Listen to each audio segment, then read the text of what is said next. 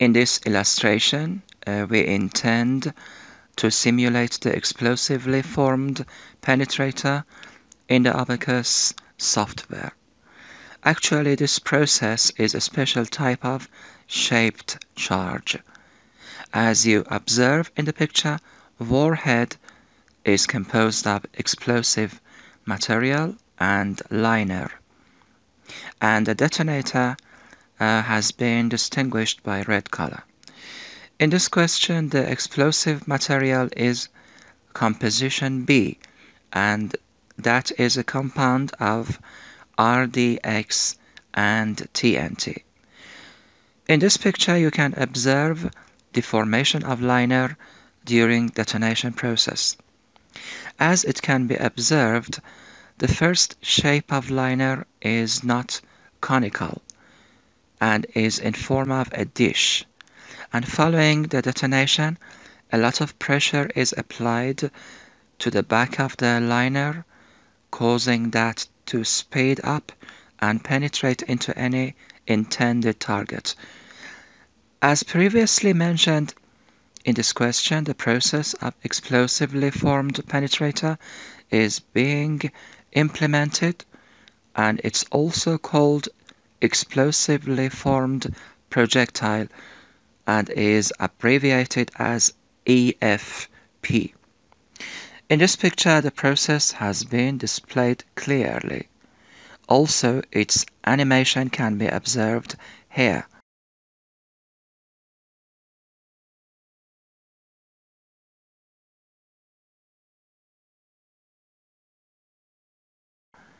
EFP process has been displayed properly in these pictures and the formation of liner can be observed during this process.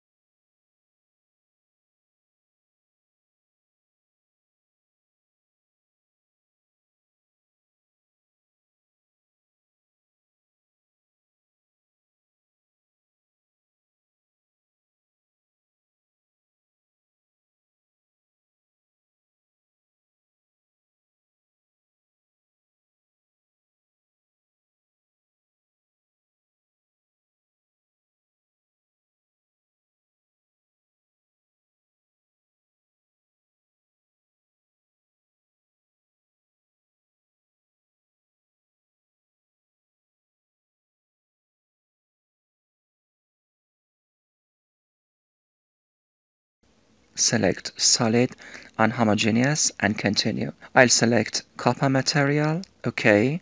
Again, I'll click on create section. Select solid unhomogeneous and continue. I will select composition B material and OK. I'll click on assign section, select explosive, done. Select composition B section and OK. Here I will assign the copper properties to liner. Click on create step, select dynamic explicit and continue.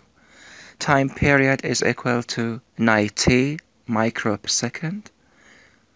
OK. Select surface to surface, contact and continue.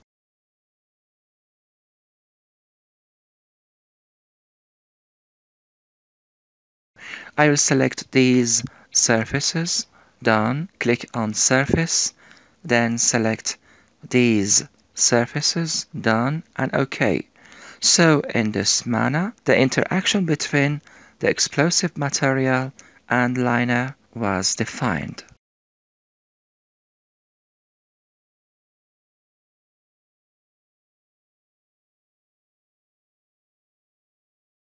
As you observe, when the explosive detonates, a lot of pressure is applied to the back of the liner, causing that to be thrown forward at a great speed.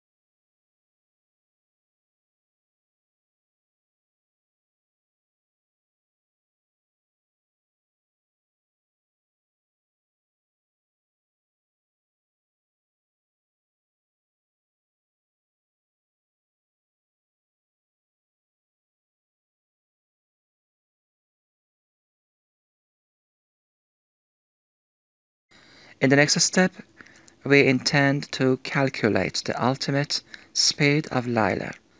To do so, I click on Create XY Data, select ODB field output, and continue.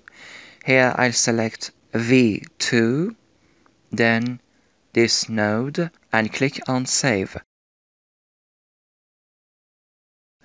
Here you observe the diagram displaying the speed of LINER, in which the ultimate speed of LINER is equal to 1116 meters per second.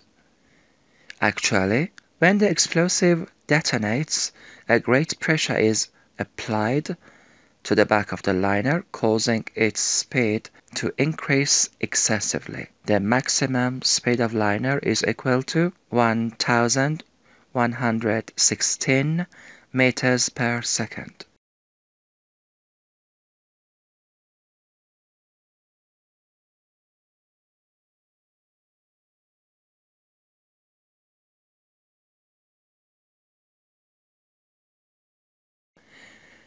As you know, two points are so important in the shaped charge process.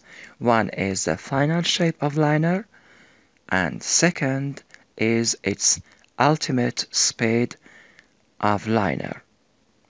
You can observe these two cases here, both the final shape and ultimate speed of liner that was equal to 1116 meters per second.